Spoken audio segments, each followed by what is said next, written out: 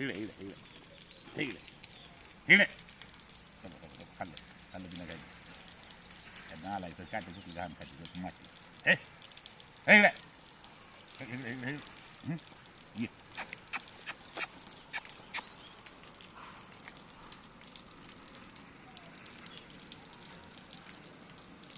Eh? Eh, kalau you tak, kata you tak suka. Cuma kita kita lihat. Go.